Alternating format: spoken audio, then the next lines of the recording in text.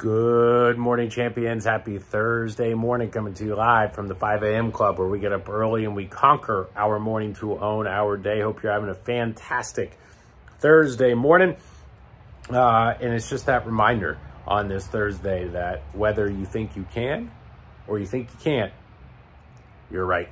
Um, and that mindset is so important as you're getting up this morning um, and and remind yourself to that Thursday. I always have to remind myself of this, right? Thursday is uh, the halfway point of the week. Thursday afternoon is actually the halfway point of the week, right? And what that means is that if you take the week and you fold it in half, um, then it's going to fold in half right at Thursday afternoon, which means you're not even halfway through to, to the goals that you wanted to accomplish this week. You know, so if you're not at your AP, you're not at your talk time, um, don't get stressed, right? Don't stress yourself out. Don't, don't make yourself nervous about it.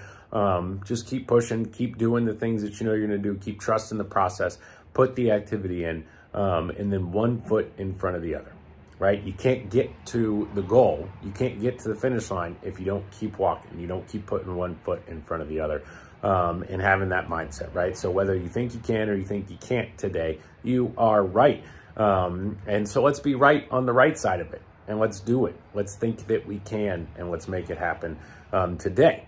Uh, and let's aspire to be better today than we were yesterday. Let's do it every single day, guys. Just get 1% better every single day in all aspects of your life. I promise you that is the goal, not just in sales, not just in, in, in health, not just in lifestyle, not just in family. Do it in all aspects and just try and do one thing a little bit better every single day. And I promise you, it's going to make a world difference. Let's have a fantastic Thursday. Um, and I'll see everybody soon on Zoom. Out.